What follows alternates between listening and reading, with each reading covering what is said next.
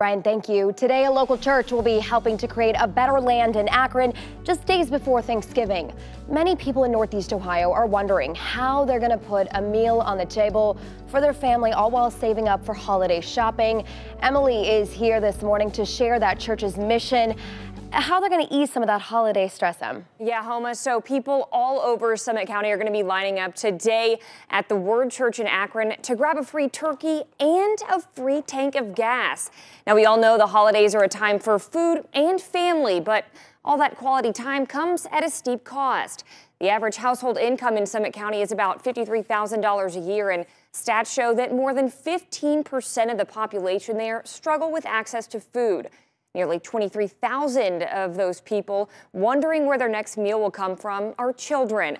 So that's why the folks at the Word Church say they're taking care of the essentials this year. Hey, when it comes to the holiday season, we just want to take a little bit of pressure off of you. Maybe that $20 that we put inside of their tank, it can go towards some stuffing, or maybe they can give it to their kid when they start buying Christmas toys.